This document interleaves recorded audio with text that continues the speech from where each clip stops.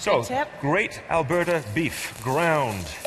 This one is, is fine. My preference would typically be something a little more coarse, but for those real chili aficionados, they would certainly go for something that was hand diced, about garden pea size. Okay. But this it still makes a great product. I have to say something about this Alberta beef. Yeah, oh, I had a flat iron steak salad and I almost passed out. It was so good.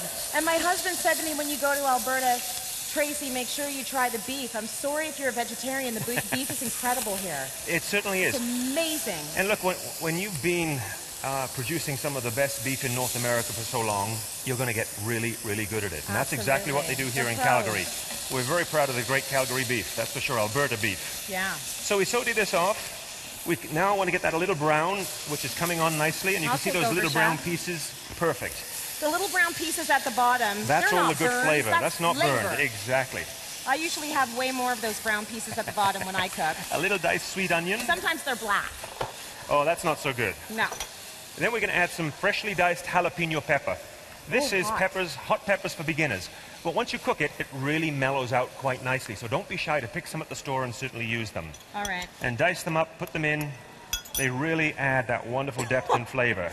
If you're into hot, you can go as hot as you want with your chili. You certainly can. Absolutely Wow. right. Okay. Once that's been sizzling a little bit longer, Yeah. we then add our spice mix. And the spice mix to me is what really gives the flavor to chili. And I've come up with a really unique spice mix. This one here is smoked paprika. So this is sweet capsicum peppers that have been smoked, have that wonderful smoky barbecuey aroma to it. I In it use that all the time actually with my fish. Perfect. This one here is ground chili. Again, that is smoked. Lots of deep, rich flavors to it. Good earthiness. Nice. And this is the one that'll deliver some extra heat. Okay. And then a little pinch of cumin. And the thing Mm. with spices, buy them fresh because that's when they're most fragrant. Really delicious. Okay, that smells amazing already. Thank Is it you. done yet? Not quite. We add our salt and pepper, the mandatory. Then we add our moist contents, which in this case is a little barbecue sauce, All right. Just for that sweetness. Yes, I like the We sweet. add a can of tomatoes that I've diced, strained, and pureed. Okay. In they go. Do you do the dark chocolate thing or cocoa in your I, chili? I don't. I don't. This one I keep fairly straightforward. And then I add a little bit of salsa as well. Oh, nice. It can be your favorite store-bought salsa because to me, chili is about keeping it simple. You don't want to be sweat hogging it over the stove all day long. The do's and don'ts of chili. You can make this your own by adding your own seasonings. Add sun-dried tomatoes. Add fresh herbs to it. Once it's finished cooking through, I then add these beautiful kidney beans. You can use pinto beans, lima beans, you can use uh, chickpeas, Okay. you name it. And of course, instead of beef, you can certainly go with turkey or chicken, Yeah.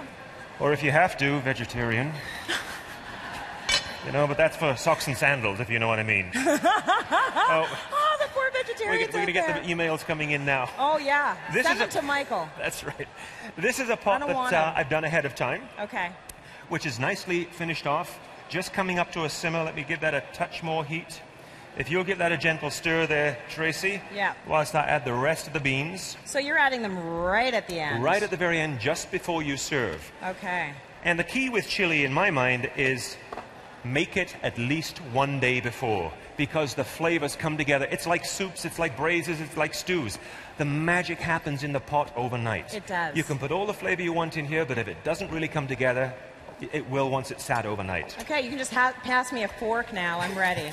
this looks so good. Final presentation. Okay. We'd serve a baked potato, which freshly baked Yukon Gold potatoes. You can use sweet potatoes if you wish. I love you to know, take. the potato has been highly maligned. It's a very good it's a vegetable. exactly, and It's it's, a great for foundation for a dish like this. Ton of fiber in so there. a little bit of shredded iceberg lettuce. Okay. We would put in our steaming hot baked potato. Yum. We then add We're gonna put chili in the potato. a chili goes into the potato. right. That's I the way it's you, going Chef. down. Yes. Very nice. And you don't be shy with it. Has anyone ever tried chili in a potato? I No. think you need Oh. to. You have. And we're not going to stop there. to. We're going to add the mandatory dollop of sour cream. Yeah. We're going to add some grated aged cheddar cheese so it's got a nice bite to it. Nice. Again, a store bought salsa. Add olive oil, freshly diced coriander, and some fresh tomatoes, and you can call it your own. Nobody will know the difference. Trust yeah, me. Yeah, if you want, I mean, I've if you want it. to get the organic salsa or whatever floats your boat, we Go just to need you to make about 179 more of those, right? We Is that add some- about how many we got right. out there?